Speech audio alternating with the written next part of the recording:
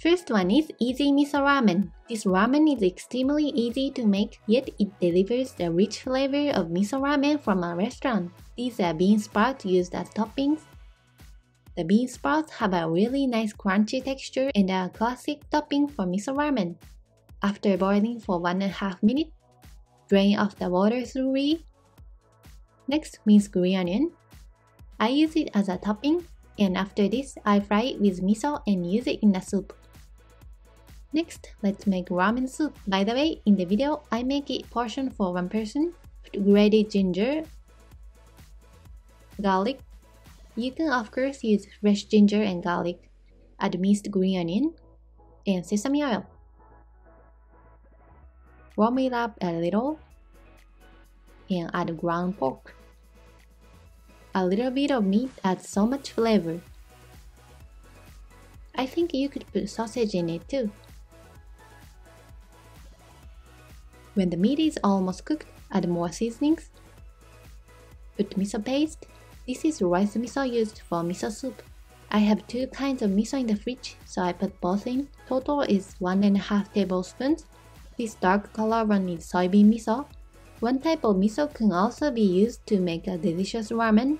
Put chicken stock powder, soy sauce, sake, sugar, and oyster sauce.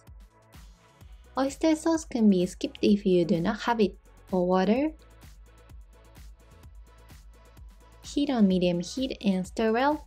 Dissolve miso thoroughly. The miso I use has dashi in it.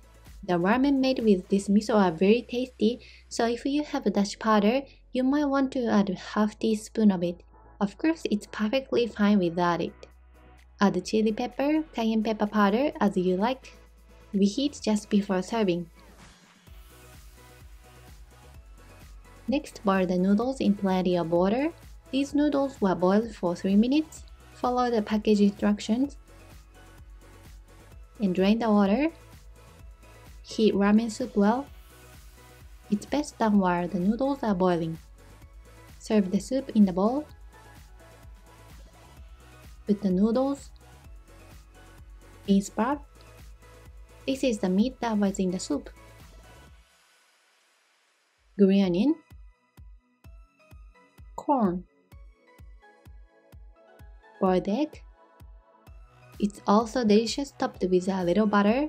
This was really good, better than the miso ramen I had at the restaurant the other night. You should definitely try it at least once. Next one is crispy tempura udon. Kamaboko boiled fish cake is standard udon topping. The other toppings can be just green onions, but today we will also add spinach. My husband likes hot udon or soba noodles with spinach. Boil spinach for 1 minute. Drain and squeeze water out thoroughly when cooled. These are vegetables for tempura, sliced onion, and shred carrot. These two vegetables are essential to the tempura dish called kakiage, and they are all you need to make it very tasty. To make the tempura even better, I add shrimp. You can use eggs to make tempura batter, but today we will simply make it with flour, potato starch, and water. Mix thoroughly when made this way, no butter is wasted. Drop this amount into the oil. If chopsticks are not easy to use, you can use a large spoon or spatula. Fry for 2 to 3 minutes on each side.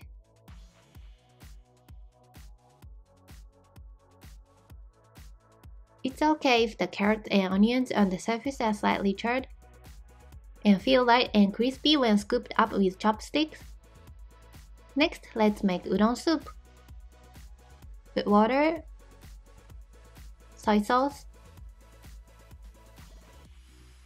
sake, sugar, dashi powder, This recipe is for those who do not have mirin. If you have mirin, replace sake and sugar with mirin. These udon noodles are already boiled, so you can just lightly warm them up. Boil for 2 minutes and it's done. Serve it in a bowl. Put kakiage, kamaboko, green onion, and spinach. It's best to eat kakiage tempura while dipping it in the soup.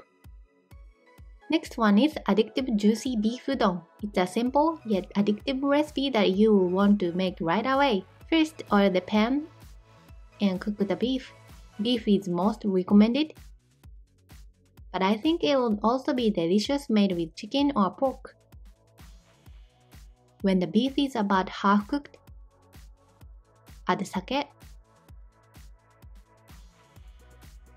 mirin, soy sauce, and sugar. Mix lightly. Then add udon noodles. If you use fresh noodles, boil them in advance. In that case, boiling time should be a little shorter because of frying here. Stir fry the udon while allowing the udon to absorb this sauce. Finally, add minced green onions to taste. Later, I will add it as a topping, but it tastes better if it's cooked a little here. You can add any vegetables you like, but the simple ingredients of just meat and green onions are extremely tasty. I tend to add more vegetables, but my husband was delighted because he likes this style best. Put extra green onion, egg yolk, Please make fried egg instead if you like red pickled ginger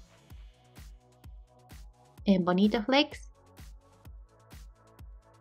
My husband enjoyed it so much that he wanted to eat it every week. Please give it a try. Next one is authentic somen noodles. First, we prepare the toppings. You can actually use your favorite condiment and vegetables, but today I want to use okra and myoga ginger. Okra is rubbed with salt to remove surface hairs. Let stand for 1 minute and then cook in boiling water. This is myoga. It's a member of the ginger family. Mince them. Myoga goes great with somen noodles, so hope you could try it someday. When you boil okra, it will float, so you can use chopsticks to restrain it from time to time. Cook for about 2 minutes. Drain and cool slightly. Cut off the okra stems and thinly slice them. Okra is a little sticky and crunchy and is very tasty when added to somen noodles in soup.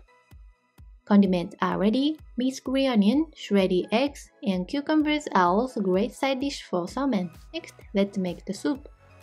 Pour water, soy sauce, mirin, sugar, and dashi powder.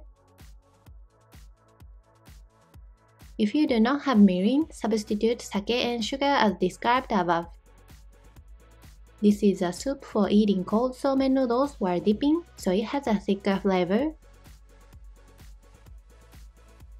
Note that you may need to dilute this soup more if you are eating it with soup in a large bowl. Bring to a slight boil to mix seasonings well. Today we will eat cold somen noodles, so I will let this soup cool down slowly.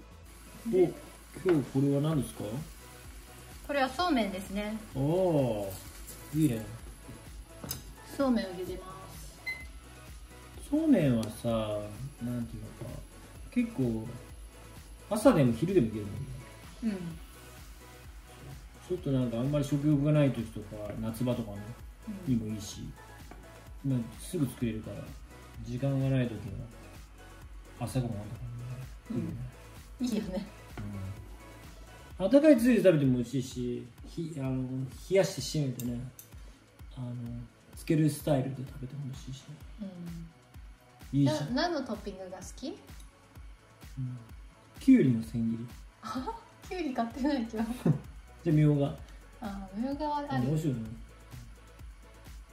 あとそばと全然違くてね。これ何でできるんだっけこれはねえーっと小麦粉あと食塩と油、美味しいよね。うん。海外にあるの？そうめんって。海外どうだろうね。そそばねとかうどんの方が有名だけど。そのブランド。あイボの糸ね、うんアマゾンとかに売ってるのかなイボの糸アマゾンで売ってるかなちょっと見てみようかおすすめだよねうんちょっとなんかいっぱい食べちゃった翌日とかねあとダイエットの人もいいんじゃないさらっとしてそうだねてすごいこれヘルシーでしょヘルシーだね、うん確かに By the way, this is well-known brand in Japan called Ibonoito, but it was quite expensive when I saw it on Amazon overseas, so you can also buy other easily available somen noodles. After boiling for 2 minutes, drain the water and wash thoroughly with cold water. Put some ices in a bowl and place the somen noodles on top of it. You can also put somen noodles in ice water. Somen tends to harden more easily after draining than udon or soba, so it's easier to eat when served this way. It's a good way to eat somen noodles, especially in the summer when they are nice and cold. Add ice to the dipping sauce too. Just pour in the soup when it's about room temperature.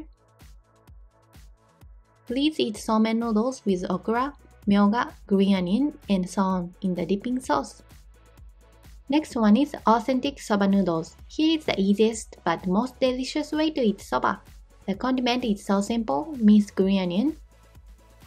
If you like nori seaweed, you will definitely enjoy this shredded nori on your soba. Use scissors to cut as thin as possible like this.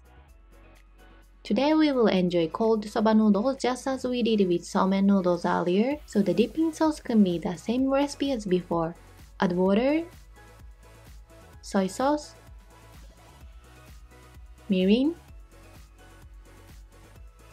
sugar, and dashi powder. Bring to a boil, mix well, and let cool.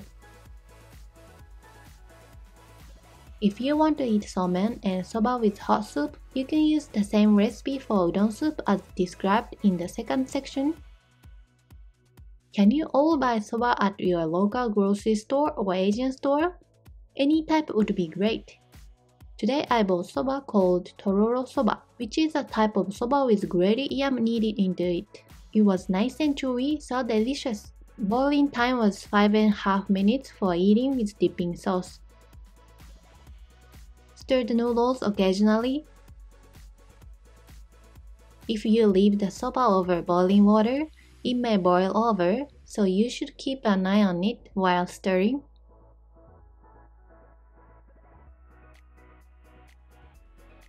Wash it thoroughly in cold water. When eating with hot soup, wash them in cold water and then warm them in hot water just for a moment before adding them to the soup so that the soup temperature does not drop. The noodles are dipped in a small bowl of soup, just like somen noodles. Nori seaweed can be added more when eating. I forgot to take a video of it, but it's best eaten with a little wasabi on the side. The last one is most insanely delicious yakisoba, Japanese stir-fry noodles. I showed this in another video, but my husband said it was good enough to be served at a restaurant, so I'll introduce it to you again. There are a few tips that come up to make your yakisoba as good as a street food, so don't miss them. As with stir-fried udon earlier, the key is the small number of ingredients with a few vegetables. Cut cabbage into small pieces. I recommend using pork belly. Other meats can be substituted. I'll make the sauce ahead of time. Put Worcestershire sauce, chicken stock powder, miso paste, sugar, and oyster sauce. The secret is to add miso and oyster sauce. It adds depth to the flavor. I use noodles specially made for yakisoba at the grocery store. You can substitute any noodle you are easily able to buy. It's easier to cook later by putting them in water to loosen them in advance. Drain off the water thoroughly as oil will be used later. Put sesame oil. Any other oil is fine, but the key is to use 1 tablespoon of oil for one serving. Fry the noodles in more oil to crispy. Fry for 4 minutes to crisp up on one side. You should fry it while pressing it with a spatula so that many surfaces would be crunchy. Turn over and fry for 1 minute. By frying one side crispy and the other side normal, two different textures, crispy and chewy, can coexist. Remove the noodles once. Add just a little bit of oil. And stir fry cabbage.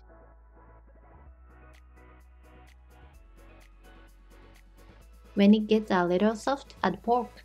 It tastes better if you cook the fatty part of the pork a little crispy. When they are cooked, put the noodles back in. Turn off the heat and add the sauce. In the sauce while keeping the heat off. Do this so that the sauce does not evaporate before the noodles are covered with the sauce. Here, turn on the heat. Stir fry until the moisture is gone. Even when the noodles is dipped in the sauce, the crispy surface retains a nice texture. At the same time, the entire noodle is well loosened.